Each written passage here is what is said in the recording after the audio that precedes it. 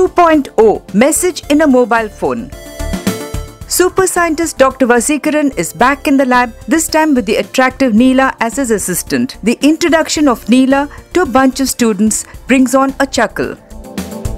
Vasikaran himself is still with Sana, and Aishwarya Rai's photo establishes that she's still his special girl from the robot days. Soon, Chitti will also be back to combat the new destructive force in town, Pakshi Rajan, who was an ornithologist and loved the bird kingdom. But no voice of authority would heed the bird lover when he pleaded the case of his avian friends who were dropping dead because of radiation from cell towers. Pakshi Rajan has now turned into a very angry birdman on the warpath with mankind. Apart from pouting for selfies and storing girlfriend's pictures, when a family claims to spend quality time together and each one is actually in his own world with the cell phone, writer director S. Shankar does make a very strong point on how mobiles have taken over our lives.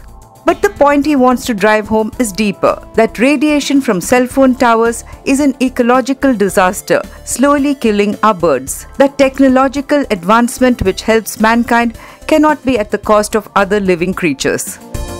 To make this point, Shankar ironically uses all the technology at his disposal where the scientist activates Chitti, the indestructible robot, with a swagger of its own.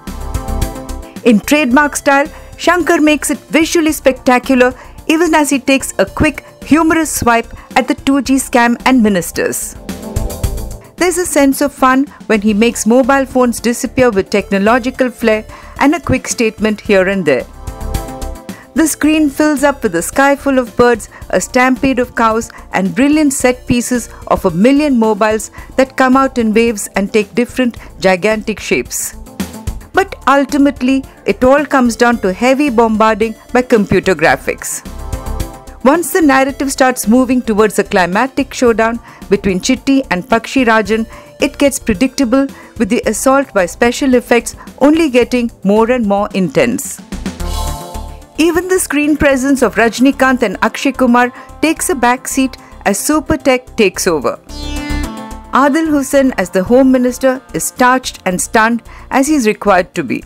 Amy Jackson as Neela is always attractive. Whatever Shankar's message may be, it's lost among the birds and the tech wizardry. For a typical Rajni Shankar blend that's a tired repeat of what worked in Robot years ago, 2.0 gets a 2.5 star rating.